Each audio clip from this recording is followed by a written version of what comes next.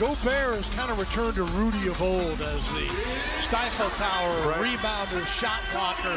Last year, I think he tried to fit a lot of different roles with Minnesota. The bench getting the first bucket. Speaking of bench, here is Osman. Can't connect. Gobert. Brother Towns. Where's that ball?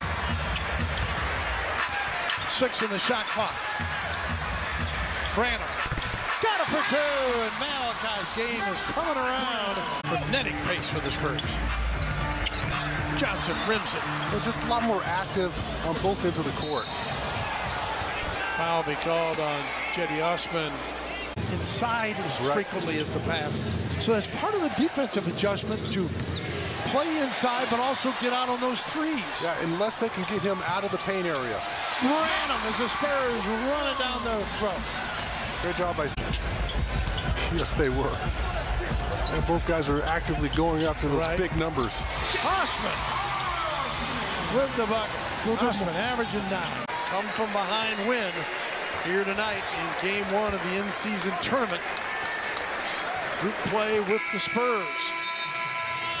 117, 110.